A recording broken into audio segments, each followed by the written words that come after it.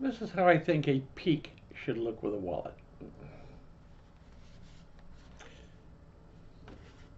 The wallet should be ungaffed,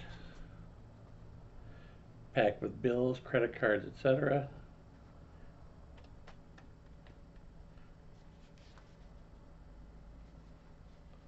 Wallet can be shown on all sides. And yet you've just gotten a full surface peek of the entire written surface. There you go.